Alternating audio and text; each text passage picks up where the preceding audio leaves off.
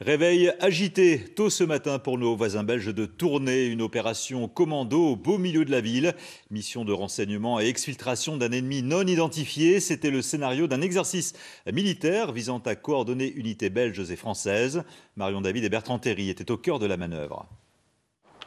L'école maternelle Saint-Luc, occupée par une cible ennemie, il faut l'arrêter et la neutraliser.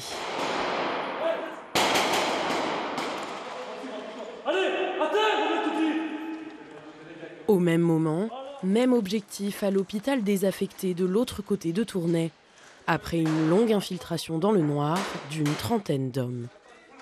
Tout est scénarisé, il y, a un fil rouge qui guide euh, nos unités tactiques sur, euh, sur le terrain et donc nous, créons des scénarios qui ont un sens et qui nous permettent de nous travailler au niveau opérationnel ces exercices grandeur nature en milieu civil sont menés conjointement par l'armée belge et l'armée française, sous l'œil de la ministre de la Défense de Belgique et de tous ces badauds au réveil un peu spectaculaire.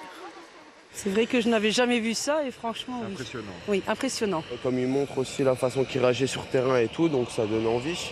Ça donne envie de défendre son pays. Les grands moyens sont de sortie.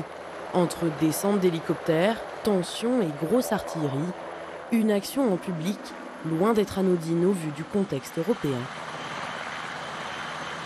Ça permet d'échanger les savoir-faire d'une part, et d'autre part d'augmenter l'interopérabilité pour, euh, si demain on devait être euh, employé euh, de manière alliée, bah, de connaître un petit peu les, modes de fonctionnement des uns et des autres. Ce sont des exercices que l'on fait d'une manière euh, générale, plusieurs fois par an.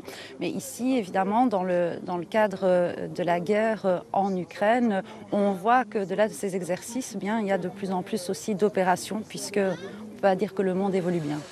L'opération va durer jusqu'à la fin de semaine pour ces deux armées qui ont plus que jamais besoin d'être convaincantes.